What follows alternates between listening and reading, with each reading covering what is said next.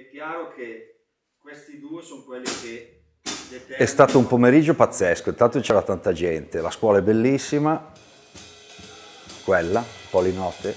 Eh, beh sì, la batteria, la batteria perché suono la batteria, in realtà era congegnato più come musica d'insieme, essendoci tanti batteristi, qualche chitarrista, qualche bassista, ne ho approfittato per fare una cosa sulla sezione ritmica, che, una, che direi è una tipologia di masterclass che sarebbe da fare sempre, ma anch'io come partecipante, perché c'è sempre da imparare per costruire un'alchimia, basso, batteria e gli altri strumenti.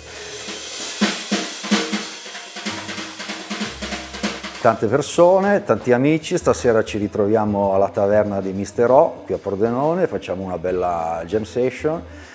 Jazz, jazz che vuol dire condivisione prima di tutto, perché è, un, è, una musica che nasce da una commistione razziale incredibile, c'è tanto sangue nero, tanto sangue africano, ma tanto sangue anche italiano, tant'è vero che il primo disco con la denominazione, il marchio jazz, è un disco di una band fatta da dei siciliani emigrati in America, quindi Nick La Rock con la sua original Dixieland Jazz Band.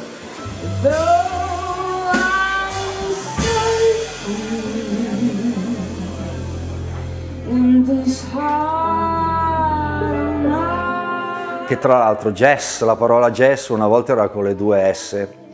Dopodiché, siccome c'era un impresario, quindi una band che una delle prime che aveva un impresario vero,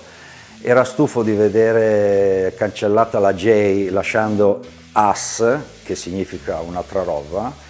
e allora si sono rotti le scatole e allora hanno detto no, beh basta, allora la parola jazz la leviamo dalle scatole, mettiamo due Z così abbiamo risolto il problema. Ecco che è nata la parola jazz.